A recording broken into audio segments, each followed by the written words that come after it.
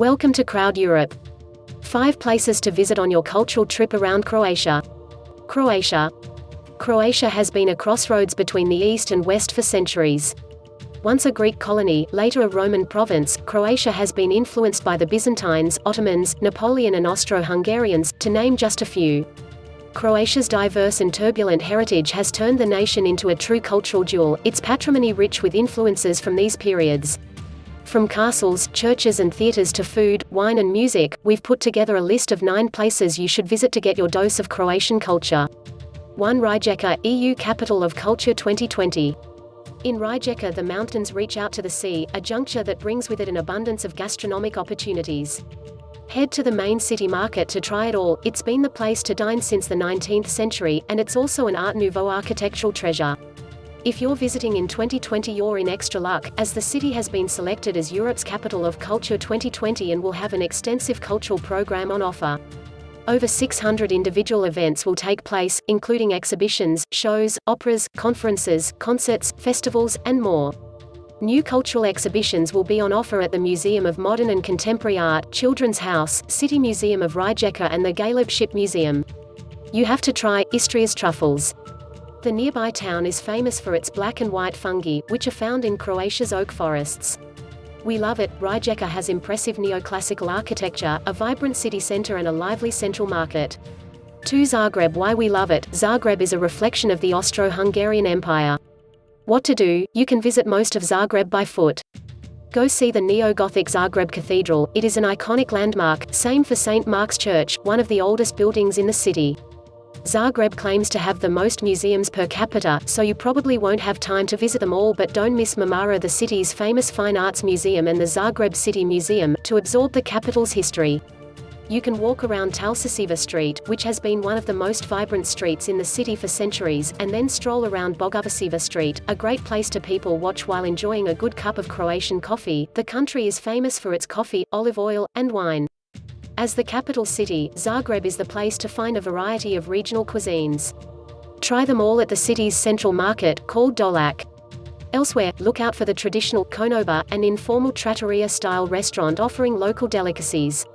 You have to try grenadier masa, a tasty pasta dish with onions and cheese, kajasman, an original dessert with caramelized pancakes, the local cheese-stuffed pastries, štrukli, and the famous pepper biscuits. Bonus, if you happen to visit during late spring, you will likely bump into Cest is d'Best one of many street festivals which transforms the city into a big stage with street theater, music, performances and sports. 3 Zadar Why we love it, you can explore 3,000 years of history in Zadar.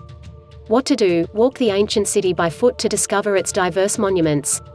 Start with the Church of St. Donatus, it dates from the 9th century and is the largest pre-Romanesque structure in Croatia.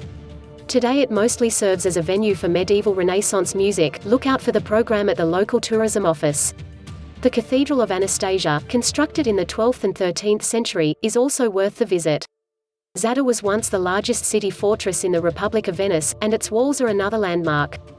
They formed, along with other cross-border components, the Venetian works of defense between the 15th and 17th century, which are recognized on UNESCO's World Heritage List as an outstanding monument of the modern maritime fortification scheme.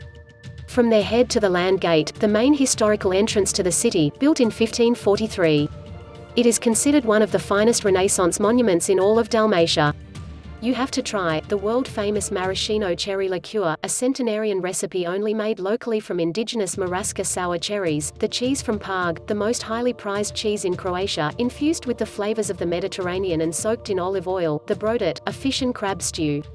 For Šibenik Why we love it, historic Šibenik has two UNESCO sites.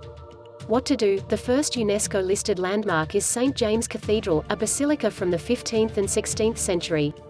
It is praised for its fusion of Gothic and Renaissance art. Croatians feared invasion from the Ottomans for centuries, so the city of Šibenik had four fortresses, the most formidable being St. Nicholas Tvrđava SV Nicole, whose defensive architecture is also protected by the prestigious UNESCO World Heritage. While in Šibenik take a stroll to the medieval Mediterranean gardens, landscaped by award-winning architect Dragutin Kiš. They are located around the former St. Lawrence Monastery, which is also worth a visit. Gardens are open year-round, and they often host open-air events in summer. Dalmatian traditional dishes are another good reason to visit the city. Head to a seaside taverna to enjoy a fine glass of wine. Šibenik is the country's primarily wine producing area. You have to try Crni risotto, a black risotto with squid, served with grated cheese. 5. Primošten Why we love it, an island in its past life, Primošten has preserved the architectural features of a medieval Mediterranean fishing village. What to do? About five centuries ago, during the Turkish invasions, the inhabitants of the islet built walls, towers and a bridge connected to the mainland to protect the city. When the Turks retreated, the bridge was replaced by a causeway.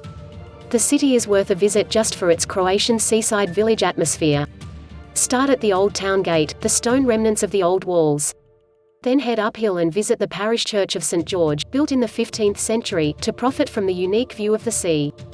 Primošten is another great town to try Dalmatian cuisine, especially the outstanding red Babić wine, paired with goat cheese, prosciutto and olives, all native to Primošten. You have to try, a shot of rakia, another local speciality, a fruit brandy popular in the Balkans. Share and subscribe channel. CROWD Europe